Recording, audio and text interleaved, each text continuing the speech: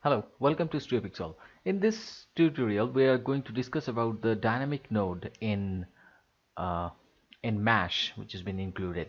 So uh, we are going to recreate a similar uh, scene like this. If you play this, it's a very simple scene. It's uh, exactly like any other dynamics uh, calculation, but this is how you can use them in Mash, which can help you out, you know, uh, for creating uh, motion graphics through in 3D. So let's see how we can do that. Just reset the scene. Okay. Now uh, just let take a plane and a sphere. Okay. Just scale it. Now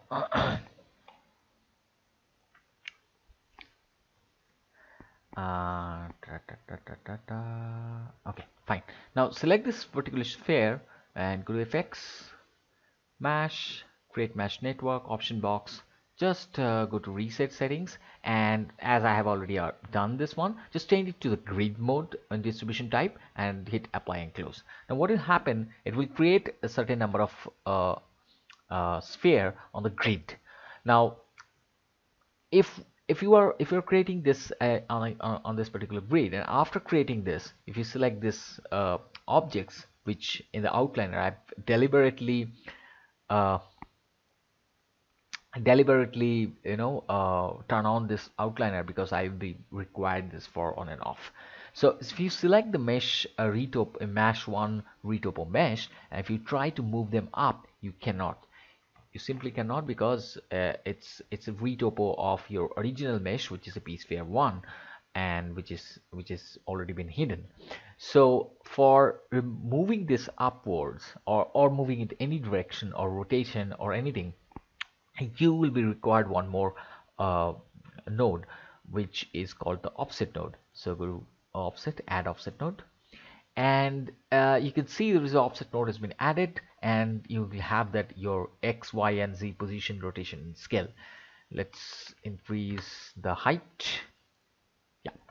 Now uh, I want a little more number of uh, spheres over here. Go to mash uh, sorry mash distribute. And here you can use this as uh, to increase the number of uh, spheres over here. Now let's suppose make them two sorry two two two yeah. And sorry no it's three three three. And also decrease their distance. Cool. That's fine. That's pretty compact. Cool. Now if uh, I now we have to uh, we, we can proceed towards the uh, dynamics node. Now go to the mash and hit dynamics add dynamic node now immediately you'll see the dynamic node has been added. And this is pretty much similar to the Maya's old uh, bullet dynamics. And you can see this is the bullet solver that has been uh, connected with uh, uh, with the with the mesh. So if you select on this uh, you will get the bullet uh, bullet solver shape. And there are pretty important uh, you know information that I'm going to uh, come down let's discuss about the dynamic node now the first uh, the, the, dynamic node you will see very similar uh, options over out there one is the collision shape which how how you want to uh, uh, set your collision sets like box, sphere, capsule, convex hull, cylinder, or or you want to create the mesh. Uh, select the mesh as your as your collision. So I'll left it from for for this particular scene into automatic because we are dealing with a you know uh, very primitive shapes which will actually automatically uh, taken by by Maya uh, uh, it will it will be taken by by uh, sorry uh, it will be taken according to the shape it, it is having. Like box will take the box shape a sphere will take the sphere spherical shape. Now you, we can see this uh, the spherical uh, sorry the collisional objects uh, ta -ta -ta, from where? Uh, where somewhere?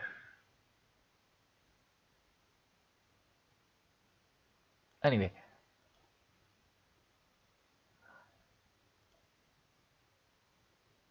Okay so the collision type is automatic.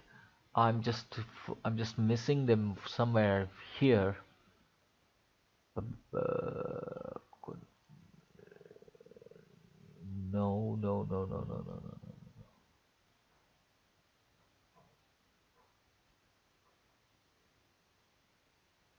anyway so for,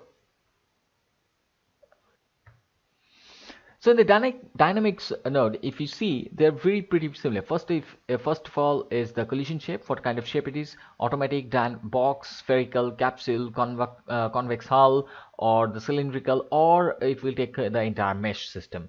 So I'll just leaving it automatic because it's an automatic. Uh, it will take an automatic uh, uh, shape because I'm just dealing with my very primitive objects. Now collision shape friction rolling friction dampening rolling dampening and bounces. This is all connected with the physical properties of, of any other objects which are uh, you know uh, very much uh, familiar terms uh, while you are using any any sort of dynamics. Now you go down and you will get your uh, maximum velocity. Collision jitter which is very important. We'll see how the collision jitter actually uh, varies and as well as the initial velocity which is also very important. Right now I'm not going to use any initial velocity because I'm going to leave my solver to take out this uh, you know bounciness and all uh, uh, to to calculate. And uh, of course uh, da, da, da, if you have any bias bias, bias positioning strength and rotational strength. Right now I'm not going to uh, you know the, you know change all of these settings because uh, this is not my uh, uh, this is not something which, I'm going to discuss over here. There, these these are very very uh, conventional, uh, uh, you know, dynamic calculations that you, you, you see or in in any any sort of a dynamic in any sort of dynamic solvers on even if you go to the bullet solvers you will see the same thing solver settings you, where your uh, start frame uh, uh, calculation will be there. I mean if you want to start from your uh, dynamic calculation from the frame one or you want something else. Now here is something which is very very interesting and important when you are using this uh, uh, dynamics. That is whether you want to use this ground uh, you can see there's a dotted ground over there which has been already created automatically when you are using the dynamic calculation dynamic node. Now you can set up your gravity from here in direction collision margin the distance between the two objects and also the frame rate which is a very important one. Now if we don't want the ground to be there what will happen? Now first let let me show you what will happen in the very default pose just change to 200 and just play it and it will start calculating. Cool. Now this has been started and you can see. Now this has been interacting with the ground. Now I don't want my ground to be there. I want my ground uh, over here. Two things you can do. One thing is you just bring this up into a grid which is okay. I mean that's fine. But what if I want my custom shape to be an collision object? So what I'll do is I'll just turn off the ground and here you can see there is a collider objects. And if you uh, if you roll over your mouse on this open space uh, it shows accepts mesh. So that is an indication that what kind of object that you can actually put over there.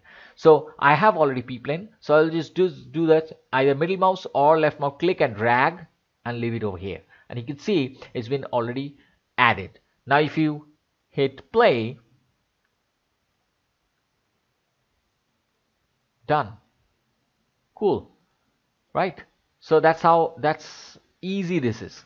But all these things are pretty uh, uh, pretty simple. But what I felt something uh, really really interesting and very invaluable information for this one is if you are going to create a custom uh, shape you need to you know remember few things which uh, which I accidentally find it out you know? Uh, let's take another plane. Just scale it up and put it over. So right now I want this object to make a collision. So it's very simple. Go to your bullets uh, bullet solver. Just take your plane 2 p plane 2 and add right? Fine. Let's see how it works. I'm just changing this uh, material color a bit just to you know oops that's too bright. Better still bright. Yeah that's better.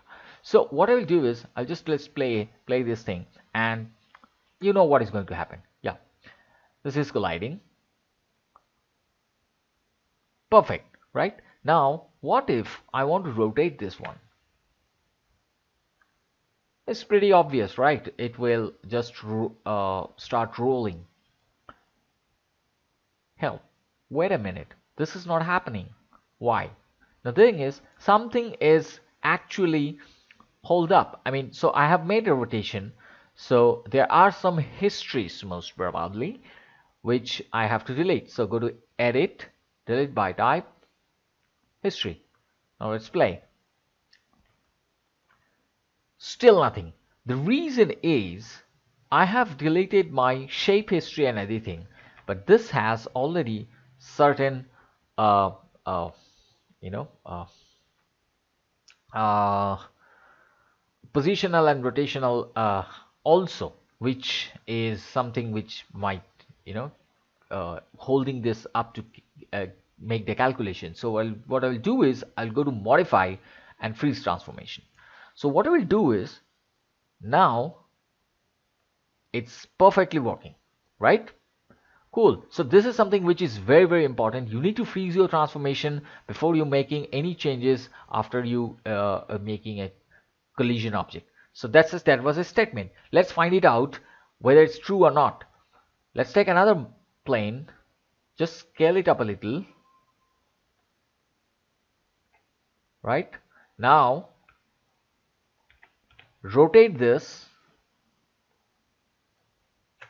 right? And then what I will do is go to the bullet solver. Just change this color into another one. Let me red yeah that's fine. So go to the bullet solver and add this plane 3 also as a collision object right? Now hit play. Let's see what is happening. It's actually not colliding at all. It's it's colliding on on its on its uh, on its uh, creation point. See? See? It's colliding as this is still a plane. It's not slanting. So I have rotated this before I converted it to a a collider objects so that is even after that that is not working. So what we have to do is we have to remember that these all values has to be the translation values has to be zeroed out. Or, or if you are not freezing those transformation values it is not going to work. So go to modify freeze transformation and just play it. That's it. Your object is perfectly working on on as a as a collision object. So this is a this is the this is a very important point that you have to remember in in this dynamic node. That is apart from all all of these very basic ones which you see those in uh, any any sort of a dynamic solvers. Those are there. The friction level the bounciness and all this those are those are absolutely very basic and very usual one. But this is something which is which uh, which is very very important in in this particular uh, solver. Or oh, sorry in the in this particular regard that because we are going to use a lot of different uh, uh, transformation values in in uh, in your in your presentation. So if you are using them as a collision object this is very important. And please please do freeze transformation while uh, using them any while using any objects or any any proxy mesh uh, as your uh, collision object. And please uh, freeze them and use them as a collision object. So that's it for for this video. Thank you very much. Please subscribe to our youtube channel and uh, follow us on twitter and facebook. Thank you